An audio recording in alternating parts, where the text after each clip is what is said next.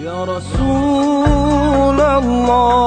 salamun alaik Ya Rafi'a wa daraji.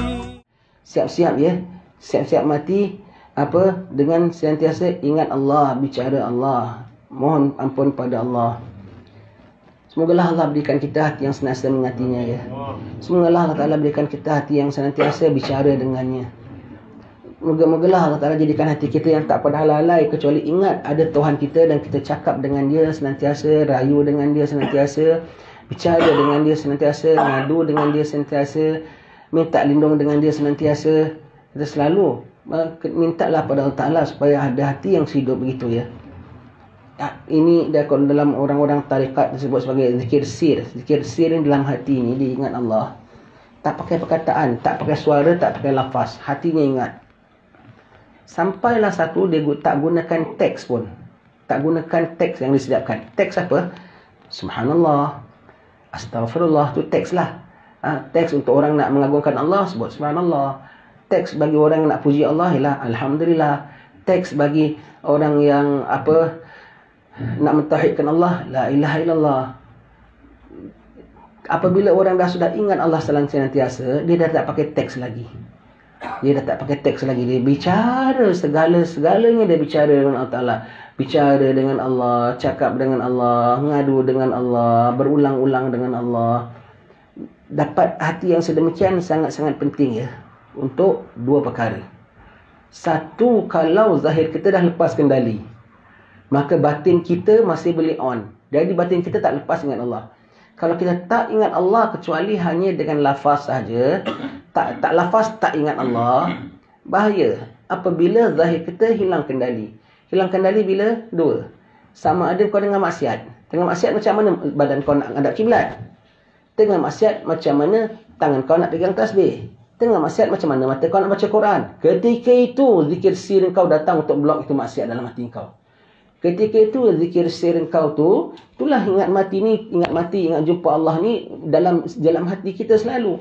Jadi sambil kita buat, sambil kita masak, sambil kita sambil kita ngemas, sambil kita ngebon, ha, nyawit apa semua. Dalam hati ingat Allah, ingat Allah, cakap dengan Allah, bicara dengan Allah, ingat mati, ingat hari bertemu dengan Allah.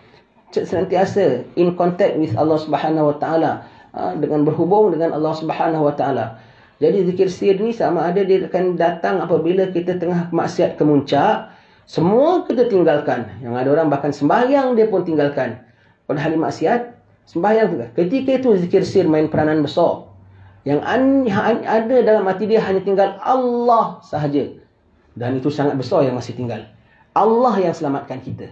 Nafsu kita semua satu-satu-satu kita kalah. Satu-satu kita tewas. Allah saja masih ada dalam hati kita. Masih boleh selamat. Satu lagi zikir sir ni perlu apabila kita sudah sakit temat, tenat. Sakit tenat, nak pegang tasbih pun tak sanggup. Nak kira berapa banyak subhanallah pun dah tak sanggup. Nak kira berapa amalan-amalan harian pun tak sanggup. Ketika tu hatinya sendiri activate. Hatinya activate. Dia macam itulah.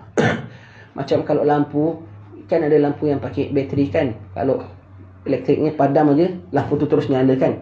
Ha, dia biar senantiasa fully charge dalam hati kita ketika sistem elektrik kita sedang okey, cas dia selalu hati kita. Cas dia dengan ingat Allah. Apabila sistem kita down, dia on sendiri. Dia on sendiri. Ha. Sistem kita down lagi bila? Tengah masak. Tengah buat kerja-kerja lain. Tengah nukang. Kan kita tak baca Quran. Kan kita tak baca Subhanallah, Subhanallah, Subhanallah, bihamdi, Subhanallah, azim. Kan tak ada dialog. Ha? Sambil nukang, sambil bikin itu, sambil bikin ini, sambil hatinya bicara dengan Allah, cakap dengan Allah. Ketika itu zikir sir main peranan apabila kita zahir kita sudah tak mainkan peranan dia untuk ingat Allah Taala. Ha?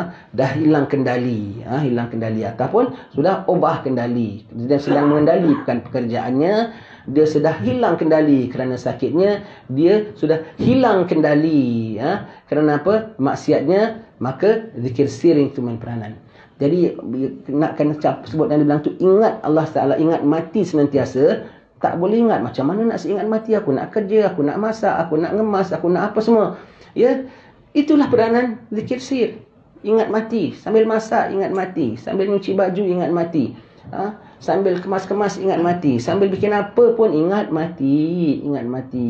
Ya? Ingat mati. Salawat salam tetap padamu Engkaulah